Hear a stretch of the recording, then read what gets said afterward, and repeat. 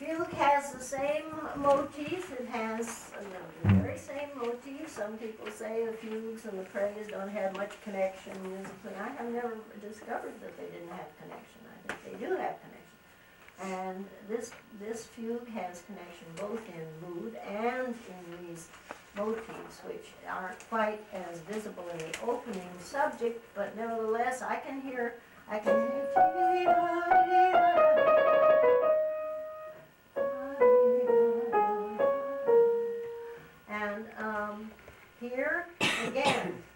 Play you could play it like that.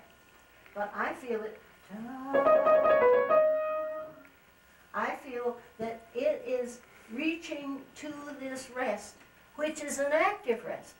Some rests are not active and some rests are active. And what does that mean? That means that you feel something in the rest. It's not just a dead hole, not a black hole. Why do I articulate that way? Because I see the, uh, the motive. I see the, the rocking motive. I see.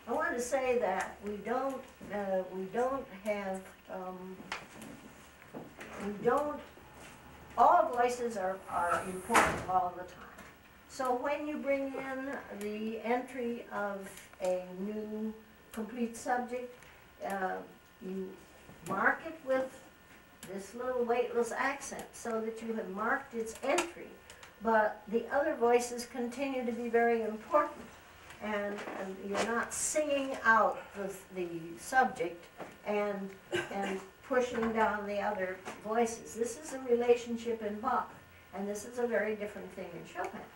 But uh, one learns then to relate the voices and get the, the um, proper amount so that we can hear everything. And still, the top voice always is a little bit dominant, a little bit, not very much, but enough that it, we don't lose that line, that top line.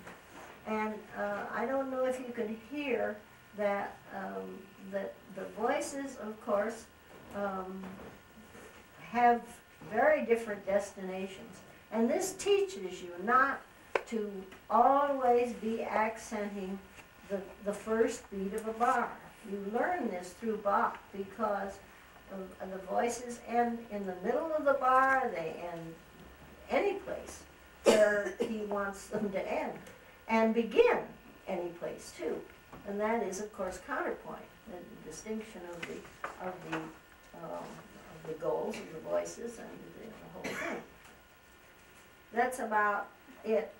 When you have, when you have these steps and, and.